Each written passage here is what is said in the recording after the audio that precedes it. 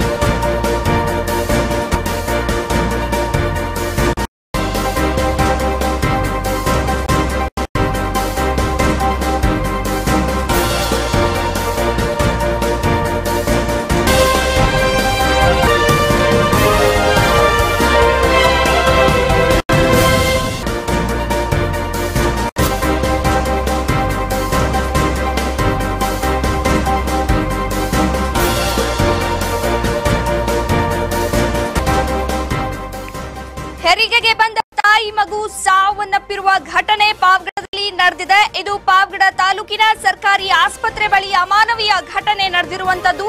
ಹೆರಿಗೆ ನೋವು ಕಾಣಿಸಿಕೊಂಡು ಆಸ್ಪತ್ರೆಗೆ ಬರಲು ಆಂಬ್ಯುಲೆನ್ಸ್ ವ್ಯವಸ್ಥೆ ಇಲ್ಲ. ಆಂಬ್ಯುಲೆನ್ಸ್ಗೆಲ್ಲ ಪರದಾಟ ಮಾಡಿ ಅಲ್ಲಿರುವಂತಹ ಯಾವುದೇ ಒಂದು ಕಾರ್ ಸಿಕ್ಕಿದೆ. ಆ ಕಾರಿನ ಮುಖಾಂತರ ಇವರು ಪಾವಗಡ ಆಸ್ಪತ್ರೆಗೆ ಕರೆತಂದ್ರು. ಅಲ್ಲಿ ತಾಯಿ ಮಗು ಇಬ್ಬರು ಕೂಡ ಸಾವನ್ನಪ್ಪಿರುವಂತದ್ದು.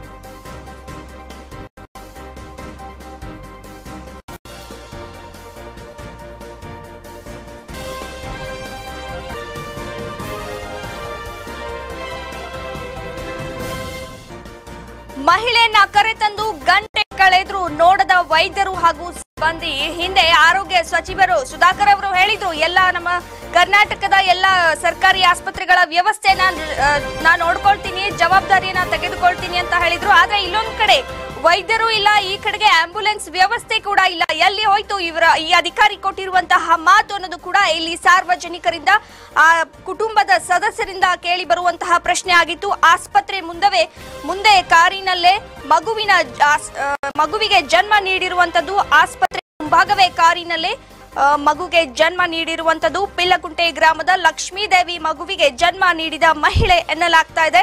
ಇದು ಸಾರ್ವಜನಿಕರ ಆಕ್ರೋಶದ ಬಳಿಕ ತಾಯಿ ಮಗು ಆಸ್ಪತ್ರೆಯ ಒಳಕ್ಕೆ ಕರೆತರಲಾಯಿತು.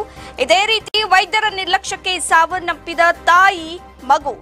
ಕಳೆದ ನಾಲ್ಕು ದಿನಗಳ ಹಿಂದೆ ವೈದ್ಯರ ನಿರ್ಲಕ್ಷ್ಯಕ್ಕೆ ಸಾವುಗಳು ಆಗ್ತಾ ಇದ್ವು ಯಾಕಂತಂದ್ರೆ ಈಗ ಅಲ್ಲಿನ ಅಧಿಕಾರಿಗಳು ಆಗಿರ್ಬೋದು, ಅಧಿಕಾರಿ ಅಂತಂದ್ರೆ ಈಗ ಆರೋಗ್ಯ ಸಚಿವರು ಸುಧಾಕರ್ ಅವರು ಯಾಕೆ ಆ ಸ್ಥಳಕ್ಕೆ ಭೇಟಿ ನೀಡ್ತಿಲ್ಲ? ಕೆಲವೊಂದು ಕ್ಷೇತ್ರಗಳಲ್ಲಿ, ಕೆಲವೊಂದು ಆಸ್ಪತ್ರೆಗಳಿಗೆ ಏನಿದೆ ವ್ಯವಸ್ಥೆ ಹೇಗಿದೆ ಅನ್ನೋದು ಕೂಡ ಯಾಕೆ ಇವರು ಅಲ್ಲಿ ಪರಿಶೀಲನೆ ನಡೆಸ್ತಿಲ್ಲ, ಯಾಕೆ ಈ ರೀತಿ ಆಗ್ತಾ ಇದೆ, ತೊಂದರೆ ಆಗ್ತಾ ಇದೆ ಅನ್ನೋದು ಕೂಡ ಇಲ್ಲಿ ನೋಡದೆ ಇರುವಂತ ವಿಷಯ.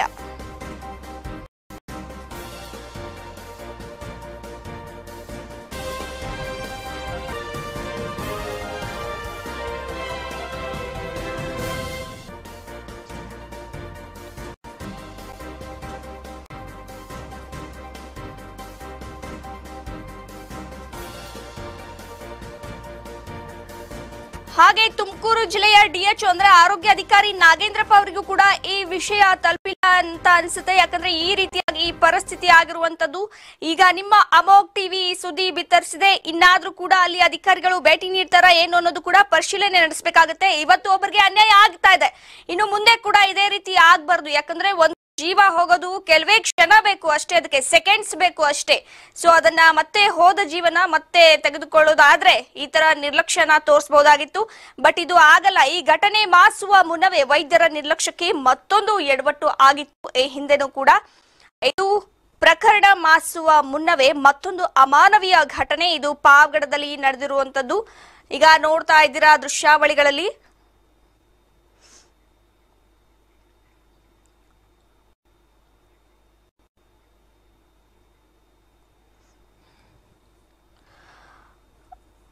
ಓಕೆ, ನೋಡ್ತಾ ಇದ್ದೀರಾ, ದೃಶ್ಯಗಳಲ್ಲೂ ಕೂಡ ನೋಡ್ತಾ ಇದ್ದೀರಾ, ಮಹಿಳೆ ಕಾರಲ್ಲಿದ್ದಾರೆ. ಸೊ ಅಲ್ಲಿಂದ ಆಮೇಲೆ ಸಾರ್ವಜನಿಕರ ಒತ್ತಾಯದ ಮೇರೆಗೆ ಅಲ್ಲಿನ ಗಂಟೆಗಳು ಕಳೆದ್ರು ಕೂಡ ನೋಡ್ದ ವೈದ್ಯರು ಇವರು. ಅದ, ಆದ ನಂತರ ಒಳ ಆಸ್ಪತ್ರೆಯ ಒಳಗಡೆ ಕರೆದುಕೊಂಡು ಹೋಗಿದ್ದಾರೆ. ನೋಡ್ತಾ ಇದ್ದೀರಾ, ಆ ತಾಯಿ ಮಗು ಕೂಡ ಅಲ್ಲೇ ಇದ್ದಾರೆ. ಈಗ ಯಾರೋ ಒಬ್ರು ಸಾರ್ವಜನಿಕರು ಒಳಗಡೆ ಹೋಗಿ ಏನೋ ಒತ್ತಾಯ ಮಾಡಿದ್ದಾರೆ. ಈ ರೀತಿ ಆಗ್ತಾ ಇದೆ ಆಸ್ಪತ್ರೆಯ ಸಿಬ್ಬಂದಿಗಳು ಬಂದು ಇನ್ನು ಆಸ್ಪತ್ರೆ ಒಳಗಡೆ ಕರೆದುಕೊಂಡು ಹೋಗ್ತಾ ಇರುವಂತದ್ದು ನೋಡ್ತಾ ಇದ್ದೀರಾ. ಈಗ ವ್ಯಾನ್ ಮುಂದೆನೂ ಕೂಡ ಆಸ್ಪತ್ರೆಯ ಸಿಬ್ಬಂದಿ ಇರುವಂತದ್ದು ವೈದ್ಯರ ನಿರ್ಲಕ್ಷಣೆ ಅಂತಾನೆ ಹೇಳ್ಬೋದು. ಈಗ ಯಾರೊಬ್ರು ಹೆರಿಗೆ ಮಹಿಳೆ ಅಂತಂದ್ರೆ, ಆ ನೋವು ತಾಯಿಗೆ ಗೊತ್ತಿರುತ್ತೆ. ಈಗ ಸಿಬ್ಬಂದಿ ವರ್ಗದವರು ಏನೋ ಸ್ವಲ್ಪ ಕೇರ್ಲೆಸ್ ಯಾವ್ದೋ ವರ್ಗದಲ್ಲಿ ಇರ್ಬೋದು, ಏನೋ ಇರ್ಬೋದು, ಅಥವಾ ದುಡ್ಡು ಕಟ್ಟದೆ ಇರ್ಬೋದು ಯಾರ ನೆಪ ಆದ್ರೂ ಹೇಳ್ಬೋದು, ಏನೋ ಈ ತರ ಆಗ್- ಆಗುವಂತಹ ಸನ್ನಿವೇಶಗಳಲ್ಲಿ ಈ ತರ ನಡೀತಾ ಇರುವಂತದ್ದು. ಆದ್ರೂ ಕೂಡ ತಪ್ಪು. ಒಬ್ಬ ಹೆರಿಗೆ ಮಹಿಳೆ ಆಸ್ಪತ್ರೆಯವರೆಗೆ ಬಂದ್ರೂ ಕೂಡ ನೋಡದೆ ಇರುವಂತಹ ವೈದ್ಯರು ಮತ್ತು ಸಿಬ್ಬಂದಿ. ಸೊ ಆದಷ್ಟು ಬೇಗ ಈ ಆಸ್ಪತ್ರೆಯ ಸಿಬ್ಬಂದಿಗಳ ಮೇಲೆ ಕ್ರಮ ತೆಗೆದುಕೊಳ್ಳಬೇಕು. ಇದು ನಿಮ್ಮ ಅಮೋಕ್ ಟಿವಿ ಮಾಡ್ತಾ ಇರುವಂತಹ ಮನವಿ. ತುಮಕೂರು ಜಿಲ್ಲಾ ಆರೋಗ್ಯಾಧಿಕಾರಿ ಅಂದ್ರೆ ನಾಗಪ್ಪ ಅವರು ಕೂಡ ಆ ಸ್ಥಳಕ್ಕೆ ಭೇಟಿ ನೀಡಿ ಪರಿಶೀಲನೆಯನ್ನ ನಡೆಸಬೇಕು. ಯಾಕೆ ಈ ತರ ಅವ್ಯವಸ್ಥೆ ಆಗ್ತಾ ಇದೆ ಅಲ್ಲಿ ಅನ್ನೋದು ಕೂಡ ಇದು ಪರಿಶೀಲನೆ ನಡೆಸಲೇಬೇಕಾಗುತ್ತೆ. ಯಾಕಂದ್ರೆ ಇವತ್ತು ಒಬ್ಬಳಿಗೆ ಆಗಿದೆ. ಇನ್ನು ಮತ್ತೊಂದು ಘಟನೆ ನಡೆಯುತ್ತೆ. ಮತ್ತೆ ಇದೇ ರೀತಿಯಾಗಿ ನಡೆಯುವ, ನಡೆಯಬಾರದು ಮುಂದೆನೂ ಕೂಡ. ಸೊ ಆದಷ್ಟು ಬೇಗ ಸುಧಾಕರ್ ಆಗಿರ್ಬೋದು ಅಥವಾ ಆರೋಗ್ಯ ಅಧಿಕಾರಿ ನಾಗೇಂದ್ರಪ್ಪರವರು ನಾಗೇಂದ್ರಪ್ಪ ಅವರು ಕೂಡ ಈ ಸ್ಥಳಕ್ಕೆ ಭೇಟಿ ನೀಡಿ ಅಲ್ಲಿ ಅಂತ ಬಂದಂತಹ ಸಮಸ್ಯೆಗಳನ್ನ ಆದಷ್ಟು ಬೇಗ ಬಗೆಹರಿಸ, ಬಗೆಹರಿಸಬೇಕಾಗಿ ನಿಮ್ಮ ಅಮೋಕ್ ಟಿವಿ ಬಿತ್ತರಿಸುವ ಬಿತ್ತರಿಸುತ್ತಿರುವಂತಹ ಈ ಸುದ್ದಿಗಳು ನೋಡ್ತಾ ಇದ್ದೀರಾ, ದೃಶ್ಯಾವಳಿಗಳಲ್ಲೂ ಕೂಡ ಕಾಣಿಸ್ತಾ ಇದೆ. ಆಸ್ಪತ್ರೆಯ ಮುಂದೆ ವ್ಯಾನ್ ನಿಂತಿದೆ ಅಲ್ಲಿ.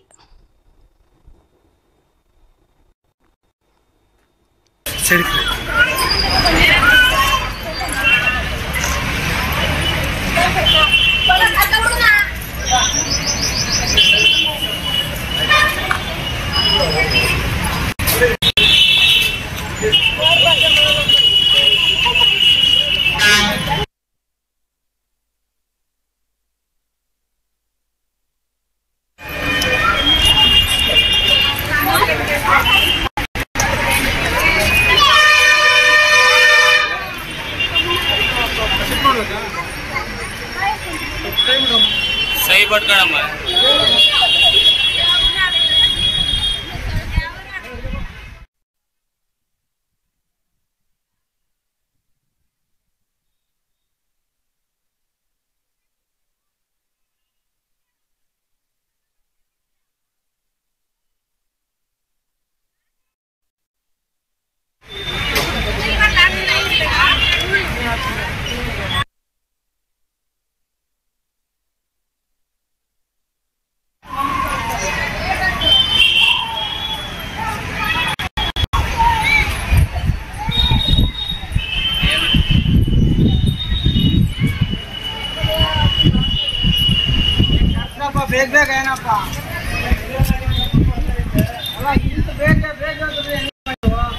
ಕರ್ಕಪ್ಪ ಬೇಗ ಬೇಗ ಎಲ್ಲ ಮಾಡು.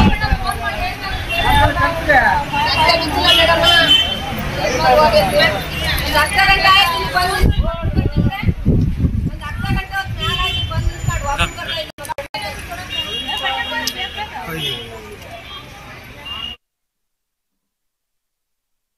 ಕ್ಷಣ ಕ್ಷಣದ ಸುದ್ದಿಗಾಗಿ ಅಮೋಕ್ ಟಿವಿ ಯೂಟ್ಯೂಬ್ ಚಾನೆಲ್ಗೆ ಸಬ್ಸ್ಕ್ರೈಬ್ ಮಾಡಿ ಹಾಗೂ ಬೆಲ್ ಐಕಾನ್ ಮೇಲೆ ಕ್ಲಿಕ್ ಮಾಡಿ. ಅಮೋಕ್ ಟಿವಿ ಎಂದೆಂದಿಗೂ ನಿಮ್ಮೊಂದಿಗೆ.